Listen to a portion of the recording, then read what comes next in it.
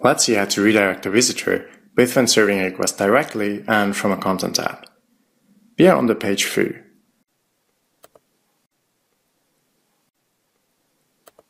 Let's change the type of our foo file to app1 and create a .request file in it with type SJS3. Now we can write our own code to redirect the visitor. For example, let's redirect visitors to the root page. Going to slash foo, we are indeed redirected to the root page. Option 2. Let's redirect from content app. Actually, it works identically, I just wanted to show you anyway.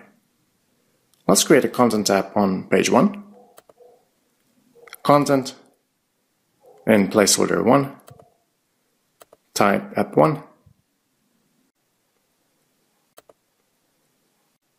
create an inline file, type SJS3,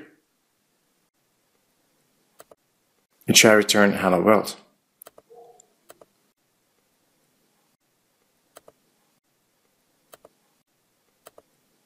So far so good. Now let's redirect the user instead.